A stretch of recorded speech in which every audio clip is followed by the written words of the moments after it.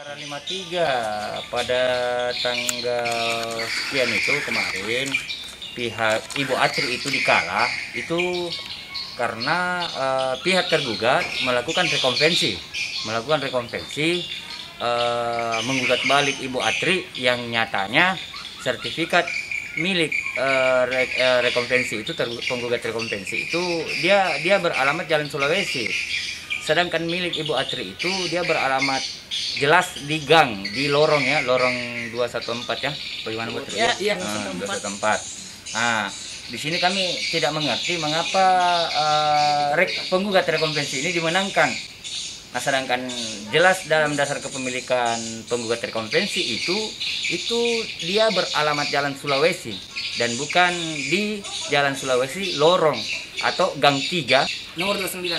219 ya? 219 ya. Tidak, Dua- tidak. Gang 3 nomor 29. Oh, gang 3 nomor 29.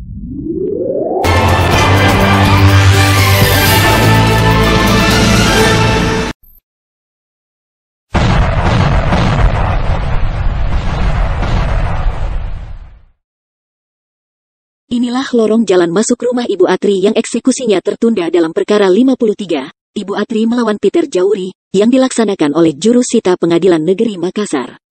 Ibu Atri bersih keras menolak dan tidak terima hasil keputusan pengadilan. Dalam hal ini Ibu Atri sangat berharap agar diterapkan keadilan karena dianggap salah objek lokasi. Demikian Ibu Atri yang didampingi kuasa hukumnya Arya Wansah, SH dan kawan-kawan menyampaikan kepada awak media tim Selebes Magazine di kediamannya. Aryawan Sah SH selaku kuasa hukum Ibu Atri menyampaikan kepada tim Selebes Magazine bahwa dalam perkara 53 dahulunya dilakukan oleh Ibu Atri sebagai penggugat dan Peter Yauri sebagai tergugat. Dasar kepemilikan Peter Yauri yakni sertifikat nomor 20359 di mana tidak diketahui dasar kepemilikannya sehingga Peter Yauri mengklaim dan menunjuk lokasi yang ditempati Ibu Atri. Itu salah objek lokasi tegas Ibu Atri. Sangat jelas sertifikat yang dipegang Peter Jauri beralamat Jalan Sulawesi. Sangat jelas di dalam sertifikat Peter Jauri tidak ada petunjuk secara detail. Bahwa sertifikat menunjuk lorong 214 nomor berapa. Nomor 233 tahun 1901 jelas apabila ditelaah bahwa apakah ada pengukuran tahun 1901 sedangkan Undang-Undang Pokok Agraria lahir atau diterapkan pada tahun 1960 maka pihak penyita harus membuktikan dasar-dasar di dalam sertifikat tersebut. Adanya keganjalan dasar kepemilikan Peter Yauri. Dan daripadanya pihak ketiga melakukan perlawanan pihak ketiga karena pihak ketiga baru tahu bahwa tanah milik orang tuanya belum membagikan atau adanya pembagian kewarisan dari Balai Harta Kalu Tanah. Yang dikuasai Ibu Atri telah diserahkan secara sah kepada orang tua atau saudara kandung pihak ketiga. Sehingga wajarlah pihak ketiga keberatan atas eksekusi hari tanggal. Pihak ketiga melakukan perlawanan dengan didasari oleh gross performing yang saat ini masih dicari oleh pelawan. Nomor 1615. Blok 53. Secara fakta tanah tersebut telah dikuasai atau ditempati saudara kandung Bunko Marcones dari sejak tahun 1937 dan hingga saat ini barulah ada yang mengklaim tanah tersebut milik Fairponding 1341. Berdasarkan sertifikat milik terlawan penyita. Jelas dari tahun 1937 tanah tersebut tidak berubah dengan tepatnya berlokasi di dalam gang atau lorong. Kepala BPN Makassar yang tidak memeriksa sertifikat yang diduga dan notaris membuat sporadik atau akte, yang bertanda tangan hanya diduga saudaranya notaris saja menunjuk lokasi yang salah cuma jalan. Sulawesi, yang lokasi sebenarnya Jalan Sulawesi Lorong 214. Dan lurah yang dulu tidak pernah tanda tangani surat-surat si pelapor atau aknya dan sporadiknya, sehingga objek penunjukan ada kesalahan, sehingga eksekusi lahan dianggap terlalu cepat memutuskan. Untuk dibongkar paksa padahal, seharusnya menunggu sidang berjalan tergugat tiga. Atas pelapor kami juga sebagai warga negara Indonesia wajib kami diberikan permohonan penundaan. Sehingga eksekusi tidak jadi, para pihak dua tergugat dan si pelapor sepakat, yang tergugat kalah akan keluar dari rumah itu tanpa paksaan maka sebaliknya yang si pelapor kalah maka tidak mengganggu gugat. Lagi ting tinggal menunggu keputusan pengadilan. Dari dasar sertifikat milik terlawan tersita. Jelas menunjuk beralamat Jalan Sulawesi, tidak menunjuk secara nyata sertifikat dahulunya terletak di gang dan lorong. Namun sertifikat menunjuk Jalan Sulawesi saja. Jelas adanya indikasi berbahaya, dan haruslah dibuktikan secara detail dan berdasar jelas. Demikian penjelasan Aryawansa SH selaku kuasa hukum Ibu Atri. Berikut kita dengar wawancara oleh tim Selebis Magazine di rumah kediaman Ibu Atri dan Aryawansyah SH selaku kuasa hukumnya. Ya, bagaimana menurut pandangan Ibu Atri terkait masalah ini? saya minta pengadilan melihat kembali persoalan 53 dibaca baik-baik berkasnya dan jangan memandang sebelah mata. Oh, itu harapan Ibu ya, Harapan saya. Supaya eh, ya. keadilan saja supaya mengharap keadilan yang yang hakiki. Yang hakiki, betul. Iya. maksudnya di situ kan eh, banyak sekali perpanjangan kayaknya jadi saya minta kalau bisa dilihat lagi baik-baik berkasnya. Ya, berkasnya dilihat baik-baik lagi supaya mungkin kalau memang ada kesalahan di di hari kemarin diperbaiki ke depan. Ya. begitu. Karena banyak sekali kayaknya ini saya lihat yang tidak sesuai saya pribadi jadi mungkin pihak pengadilan bisa lihat baik-baik lagi berkasnya. Diperiksa lagi dengan teliti. Toh Iya. Ah, mungkin kemarin ada lalai kah? begitu. Ya. Jadi itu saja harapan kami. Oh ya. Perkara 53 pada tanggal sekian itu kemarin pihak Ibu Atri itu dikala itu karena eh, pihak tergugat melakukan rekonvensi, melakukan rekonvensi eh, menggugat balik Ibu Atri yang nyatanya sertifikat milik eh, re- eh, rekonvensi itu ter- penggugat rekonvensi itu dia dia beralamat Jalan Sulawesi sedangkan milik Ibu Atri itu dia beralamat jelas di gang di lorong ya lorong 214 ya bagaimana Bu Atri? Ya, iya, 214. 214 nah di sini kami tidak mengerti mengapa rek- penggugat rekonvensi ini dimenangkan. Nah sedangkan jelas dalam dasar kepemilikan penggugat rekonvensi itu itu dia beralamat Jalan Sulawesi dan bukan di Jalan Sulawesi lorong atau gang 3 nomor 214 nomor 29 219 ya? 219 ya. Dua- gang 3 nomor 29 Oh, gang 3 nomor 29. Iya. Berarti dari dulu 1937, dari sejak tahun 1937 itu sudah eh, gang 3 nomor 29 Iya. sampai sekarang belum berubah. berubah nomor lorongnya saja dua satu sembilan nomor dua sembilan gang dua empat belas 214. nomor dua sembilan Heeh. Kan kemarin ada eksekusi di tanggal berapa ya? Eh, sudah banyak ada polisi dari pengadilan. Ada nggak dari apa? Dari BPN yang hadir di di Jalan Sulawesi? Eh, pada saat eksekusi itu BPN tidak hadir, Pak. Hah? Dari pihak BPN itu tidak hadir karena memang pada saat peninjauan langsung lapangan pada perkara 53 kemarin itu memang eh, BPN tidak turut tidak datang tidak hadir pada saat peninjauan langsung lapangan pada saat PS sidang PS dan itu itulah kelemahannya. Sebenarnya eh, BPN menunjuk asal kiranya menunjuk bahwa lokasi itu tepatnya di sini. Berarti tidak hadir BPN Makassar ya? tidak hadir tidak ada tidak ada hadir. Biar perwakilan tidak ada ya? tidak ada tidak ada hadir pada saat itu Jadi pembatalan eh, eksekusi ini seperti apa ini? Kenapa batal? Jadi sebenarnya bukan batal ya, tapi namanya penundaan. Hah? Jadi eh, eksekusi ini ditunda, ditunda karena adanya perkara 448 yang sementara berproses berperkara di pengadilan. Dan seharusnya sebelum melakukan eksekusi itu kan sudah su- em- perkara 448 ini yang duluan yang duluan maju dibandingkan permohonan eksekusi. Nah, seharusnya pengadilan sudah tahu bahwasanya sementara harusnya ditunda sejenak. Ditunda sejenak karena adanya adanya pihak ketiga yang sementara berproses di pengadilan. Eh, dulu kan ada pengadilan yang sedengar eh, ada pengadilan turun melihat lokasi ini. Betul ada ya? Seperti itu dulu. Eh, Kalau menurut prinsipal saya di perkara 53 iya katanya ada. Betul. Nah, Ah.